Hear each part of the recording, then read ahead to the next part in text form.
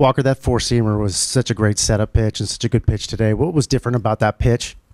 Oh, it's kind of like it, it used to be a little bit or, or a little bit closer. Obviously, uh, got a couple swing and miss early in the game, and, and that kind of resets you mentally to think that oh, I got a good one going today or, or whatever. But um, yeah, felt good. Second row on your left, Jack. When that pitch does feel good, like what what is it about the characteristics of it or how you're throwing that you think makes it effective? Um, I I think it's less about that pitch more than than it just lets me get into some counts that um, you're protecting the other stuff, and and then you can throw the bigger one with two strikes as opposed to with one strike, and um, just gives you a little bit more freedom. You've talked about like the big game thing, but Mhm. just to have another like strong World Series start like this, like how gratifying are these moments to you? Uh, you know, I've told you guys that's kind of all I care about, but um, it it makes these it, it makes kind of the regular season worth it for me. Go to Russ in the fourth row on your left.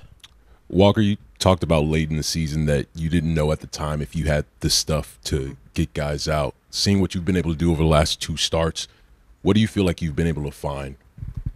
Um, you know, I think as kind of brutal as this to say, like it takes that adrenaline and that stuff to kind of really get me going, kind of mentally. And um, you know, I don't know if I, I- wish I would have felt that all year. I could tell you, I'm so excited to pitch every single game I've ever gone out there, but there is something different in the playoffs, and and I think.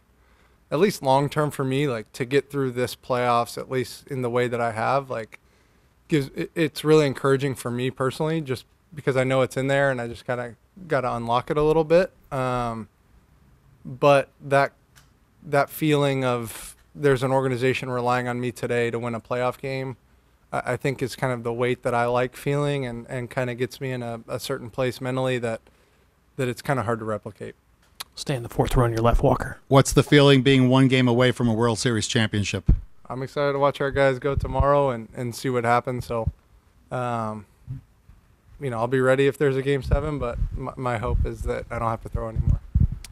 Go to the fourth row on your right, Walker.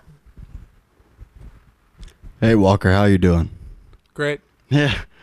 Uh, how does it feel going into um, five shutout innings in such a crucial World Series game? How does it feel before or after? During.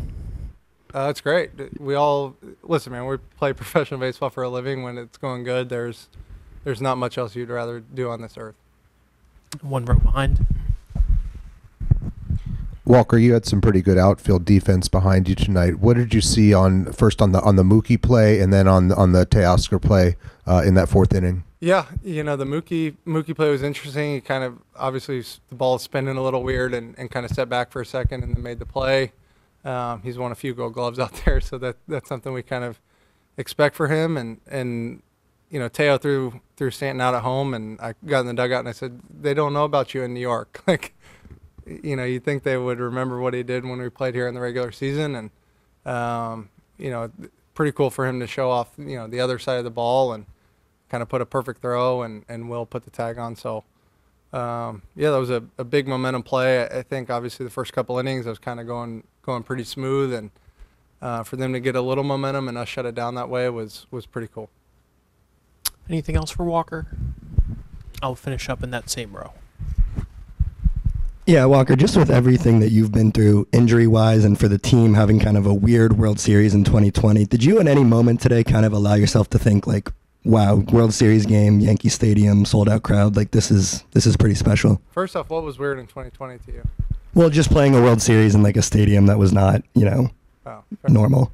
Um, yeah, I mean, listen, I, this was my third World Series game, and, and they've kind of gone similarly. Like there's a there's a thing for me that whatever pride or whatever weight I feel seems to come out somehow beneficial for us, and um, you know, I think this team is just different than the teams we've had before in terms of the way that we operate in there with the 26, 26 guys that are active that day. There's this bond that's kind of different and you know we play for each other that that play from Teo is, is kind of significant in terms of what I'm saying in that like okay I slipped a little I gave up a couple hits and we cover it. Like I haven't been on that many teams that we cover each other the way that this team does and um, I've also never been on a team that's up 3-0 in the World Series